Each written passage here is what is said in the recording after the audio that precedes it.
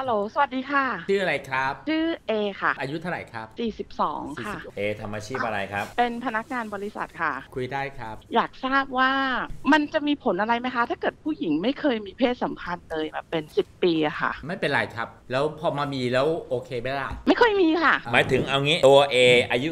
42 ไม่เคยครับมีเพศสัมพันธ์เลยครับ ไม่เคยค่ะ แล้วปัญหาคืออะไรครับ อ่า ปัญหาคือมันจะมีผลกับอ่าทางร่างกายไหมคะเออคุณกลัวอะไรครับ มีผู้หญิงกลัวบางคนที่เขาบวชเป็นชีเอ่อหรือแม่ชีที่ต่างประเทศนะครับอืมจนกระทั่ง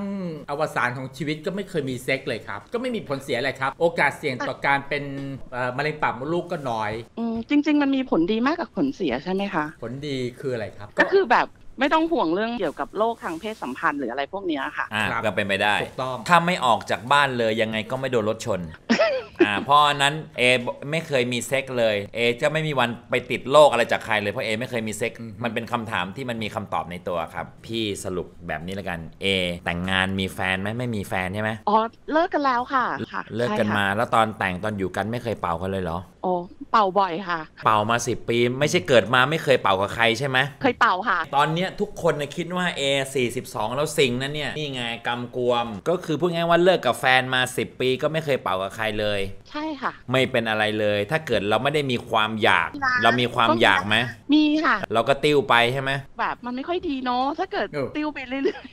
มันไม่ดียังไงอะครับเฮ้ยเฮ้ยคิดอย่างนั้นไม่ได้ อย่าอย่ามีอคติกับเรื่องเซ็กๆก็อยากนะไม่ใช่ไม่อยากก็คือก็ติ้วไปมันก็ติ้วไปแต่มันก็แบบบางทีคิดไปมันทำให้เราเครียดนะคะ เครียดเรื่องอะไรอะ ว่าฉันได้แต่ติ้วเหรอ เราไปเราไปเชื่อมโยงว่าการติ้วคือการพ่ายแพ้เหรอ การติ้วคือการลูเซอร์เหรอ เฮ้ยเดี๋ยวไปเชื่อมโยงอย่างนั้นไม่ได้คนละเรื่องกัน มันไม่สุดมั้ง คือแบบมัน นี่แบคุบณเอลองเคยใช้พวกเครื่องช่วยทางเพศไหมครับ ดิวโดไวเบเตอร์อะไม่ค่ะกเคลัยวอ้าว แต่ว่าอ้าวใช้นิ้วมันไม่รู้สึกไม่เต็มที่ ถ้าบางทีอาจจะใช้อย่างเนี้ยพวกดิวโดพวกหัวมือถือนะฮะ ก็ใช้ได้ก็ไม่ติดเชื้อถ้าคุณ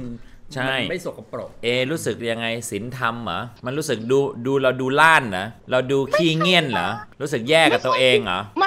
มันมันแปลกๆคือเหมือนกับคนเราต้องมีการแบบสัมผัสมีการกอดมีอะไรพวกนี้นึกออกไหมคะใช่ แต่ถ้าเกิดเราจะคบใครสักคนเราก็ไม่กล้าอีกใช่ไหมเราก็เลือกเยอะใช่ไหมใช่เป็นคนเลือกเยอะอ่าเลือกดูทุกอย่างนี่ไงเราต้องแยกระหว่างความสัมพันธ์กับเซ็กกับความต้องการทางเพศออก ระหว่างที่แม่งยังไม่มีตัวไหน แบบมนุษย์เป็นๆน่ะผู้จริง ๆ แล้วก็ติ้วประคองตัวไปก่อน มันจะได้ไม่เครียดมันจะได้สบายตัวมันจะได้ลดการอ่าภาวะเก็บกดทางความรู้สึกทางเพศ อย่าติ้วโดยมีอคติอะเอ๊ะแน่นอนของจริงมันกว่าติ้วอยู่แล้ว แต่ตอนนี้ไอ้ของจริงเราก็เลือกเยอะไง ก็ไม่ผิดนะที่เราสเปคเยอะไง เพราะฉะนั้นมันไม่ได้ต้องเลือกทางใดทางหนึ่งนะครับ เพียงแต่ว่าคุณทำความเข้าใจเรื่องพวกนี้ในแบบธรรมชาติหน่อย เรื่องเซ็กไม่ต่างอะไรกับกินข้าวแหละครับ ตอนไม่มีแฟนก็กินคนเดียวไป ตอนมีแฟนก็ดินเนอร์นั่งคู่สบตาป้อนหมูกระทะกันไป แต่ตอนไม่มีแฟนแดกคนเดียวก็ได้ ถึงจะมีความรู้สึกว่าไอ้เฮียแดกคนเดียวแล้วเหงาจัง มึงต้องแดกคนเดียวไปก่อนเพราะว่าไม่มีผัว ถ้าเกิดกูไม่อยากแดกข้าวคนเดียวเลยเฮียคุณจะยอมไม่แดกข้าวเหรอครับ ไม่ได้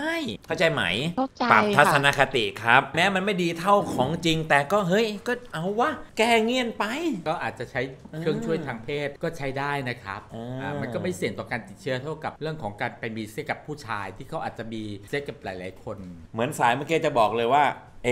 ติวติวๆไปเถอะเชื่อพี่ไปติวติวๆไปเถอะขอให้มีความสุขทางเพศและขอให้ติวอย่างเพลิดเพลิน ได้ค่ะ ขอบคุณมากค่ะเออค่ะเหมือนในสายเมื่อกี้ทาทาๆไปเถอะอันเนี้ยติวติวๆไปเถอะ